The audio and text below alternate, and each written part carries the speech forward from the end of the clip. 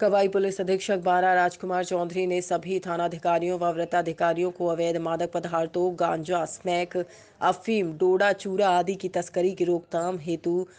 अभियान चलाकर कार्यवाही के निर्देश दिए हैं। इस पर अभियान को सफल बनाने हेतु जिनेन्द्र जैन, अतिरिक्त पुलिस अधीक्षक बारा के निर्देशन में सोजी लाल मीणा, व्रताधिकारी व्रत अटरू के सुपरविजन में मान सिंह उप निरीक्षक थानाधिकारी कवाई मई जाप्ता ने दौराने नाकाबंदी, खेराड़ी, तलाई की पुलिया कुंडी, बरावदी रोड पर बरावद गाँव की तरफ़ से मोटरसाइकिल पर सवार तीन व्यक्तियों को देखा, जो पुलिस जाप्ता को बावर्दी देखकर वापस मुड़कर जाने लगे। जिन्हें संदेह होने पर हमराही जाप्ता की मदद से, अपनी सूझबूझ से डिटेन कर नाम पता पूछा तो तीनों ने अपना नाम जिला बारा का होना बताया। नियमानुसार उक्त तीनों की तलाशी ली गई तो कब्जे से 260 ग्राम अवैध मादक पदार्थ स्मैक मिली, जिसको जब्त कर तीनों आरोपियों को गिरफ़्तार करते हुए आरोपियों के खिलाफ आठ बट्टा इक्कीस एक्ट में प्रकरण दर्ज किया गया है।